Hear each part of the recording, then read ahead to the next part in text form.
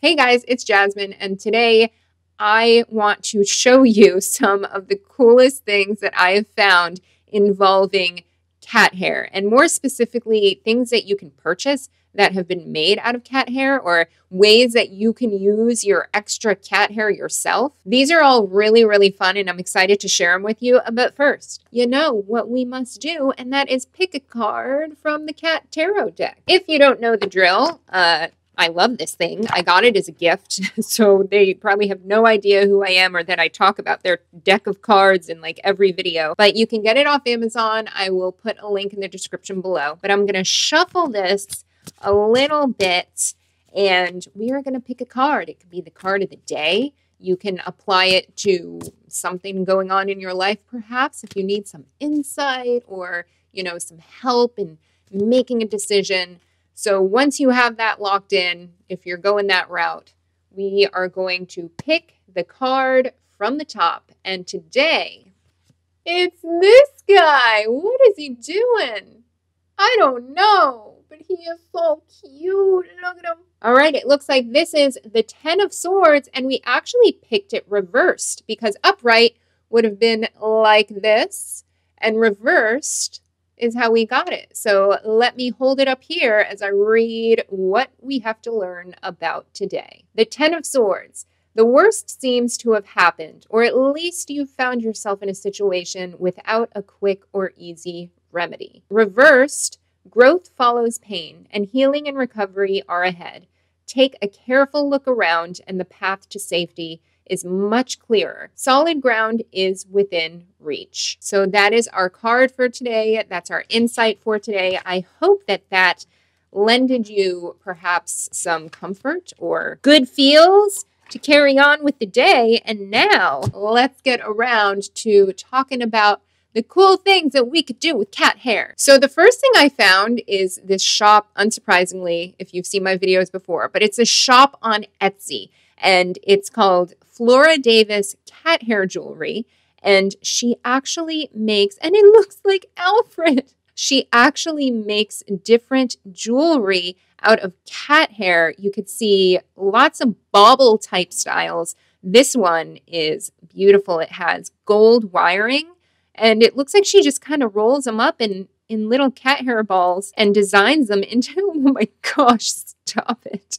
Designs them into this jewelry uh, it's not cheap, you know, and to be honest, if I was selling my own feline fur babies jewelry, puppy Alfred, and I guess you could say now Betty and Ronan, I would put that at quite a high price point as well because that's selling their precious DNA. And combined with artistry and creativity, you know, why not? Good on her. So not only is this a really creative shop and and just ideas of crafts and jewelry to make, but it does exist. So, for anybody who had no idea, just like my cat hat video from the past, this does exist and there is apparently a solid customer base for it. The next thing that I came across, again on Etsy, I think this is the, the only other thing from Etsy, but I thought that this was just so cool and so creative and so useful. And that is to make custom yarn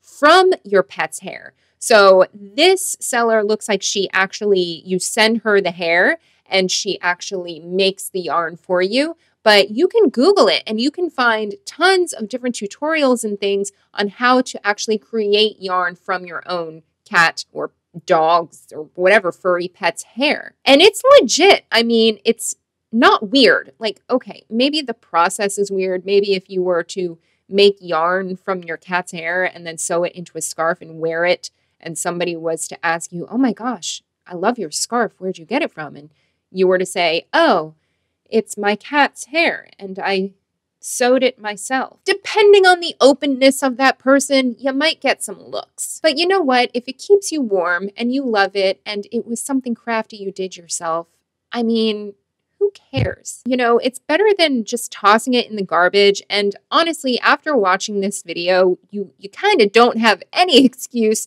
to just toss away your cat or dog's hair because you'll see there are so many uses for it besides just jewelry, which is, you know, more aesthetic. Now we're getting into the yarn, which you can make into things that keep you warm. And by the way, I will link these shops below as well as anything else I talk about today. Not only can you make yarn out of your cat's hair or, you know, make jewelry out of it, but you can actually use it outside and in your garden and in your yard for a number of really cool things. One thing you can do that I did already know about is you can gather up your cat's hair and during the spring, especially when the birds are starting to make their nests and you know how they look for all kinds of random things in order to build their nests, all kinds of different materials to do so, you can leave your cat hair in areas outside that the birds frequent or maybe up in branches of trees, and they will almost guaranteed end up picking it out and using it to help build their little nests that time of year. And by the way, there is a difference between fur and hair. I've spoken about this in a video in the past talking about brushing your cat, the best ways to brush your cat, how to deal with cat shedding. So you can check that out on the cat stuff playlist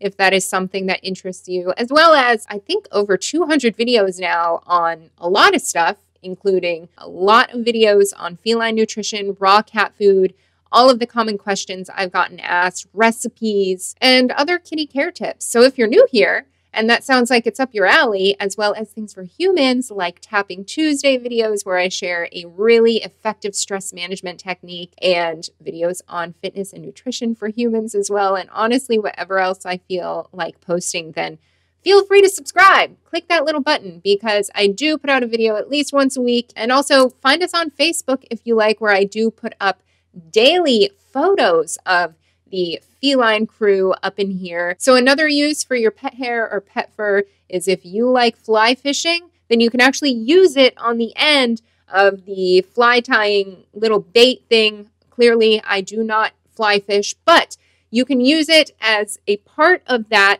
and it'll be useful to catch you some more fish as you're doing that. And I'll put a website below that explains it a little more better than what I just did. But it's really interesting because it actually also goes into the difference of using hair versus fur for this kind of tool in fly fishing. If you are into gardening, going back into the outdoors, in the backyard perhaps, then you can actually use your cat hair or pet hair as compost within your garden. Cat hair is organic matter, so you can just put it in your compost bin or mix it in with whatever else you use, and it will really help to boost the quality of your gardening. If you happen to have a lot of pests that say you don't want in your backyard, that could be squirrels or mice or chipmunks, it could even be deer. You can actually line your garden or your yard with cat hair because, unsurprisingly, if you think about it, nature does have this natural pecking order of who is a predator and who is prey. And they're very keen intuitively and instinctually to identify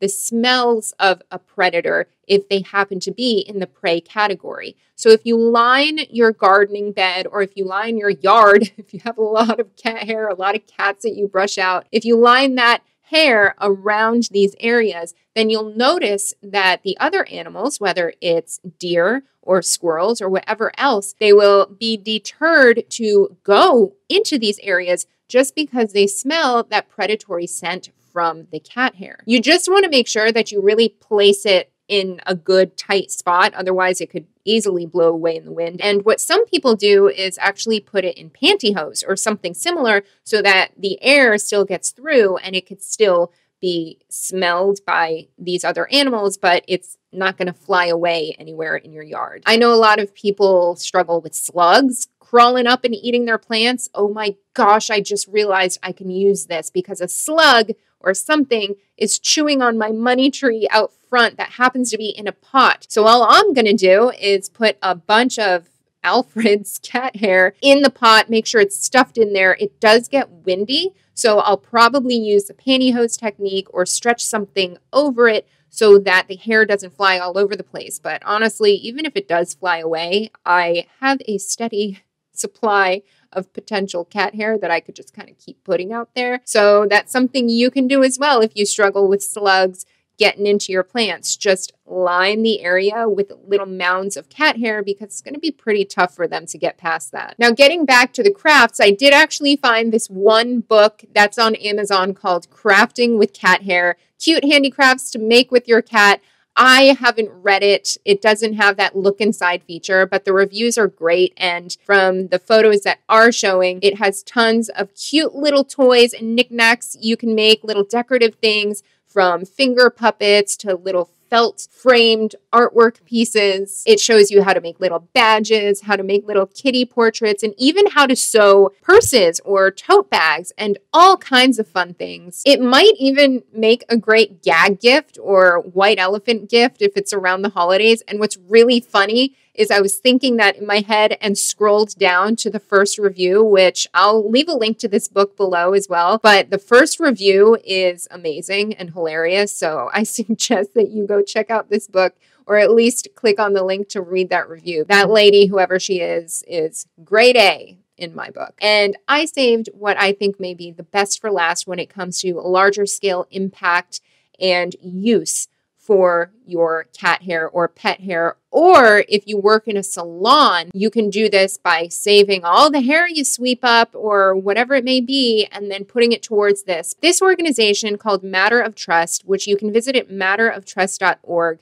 They work with eco enthusiasts and do a lot of renewable, eco friendly projects. And one of the things that they do, if you click on donate and then hair, fur, and fiber when you go to their website, you can donate hair, fur, fleece, feathers, lint, all of these different things. And they will use this hair to manufacture these felted hair mats that are used in waterways and oceans and different places to soak up the different chemicals and oils that happen to be polluting these areas. Not only can you help by donating hair and fur and fleece, but you can also help by making the hair mats as well. You can help by volunteering within the company. I just thought that this was such a wonderful thing that I did not have any idea about before. And I just love seeing when people can be so creative and also resourceful with things that would otherwise be completely disregarded. So, this is a wonderful, wonderful program. I'll leave a link to matteroftrust.org below. What better cause to put your cat hair towards? And how cool is it to know that your feline fur baby is contributing towards such a good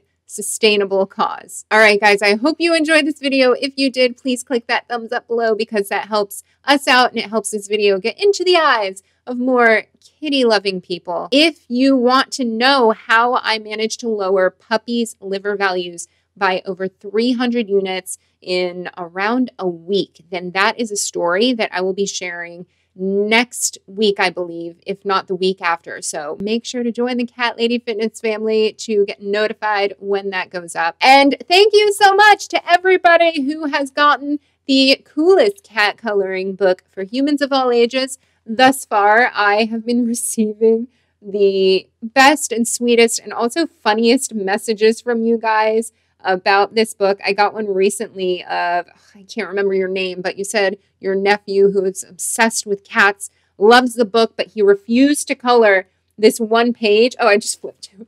He refused to color this one page until he knew exactly what was being licked by the kitten and uh, what color it was. So I hope that I helped you out with my response. This is on Amazon worldwide, so that's where you can get it. That's where you can leave a review. As always, thank you so much for watching, and I will see you in the next video. Bye.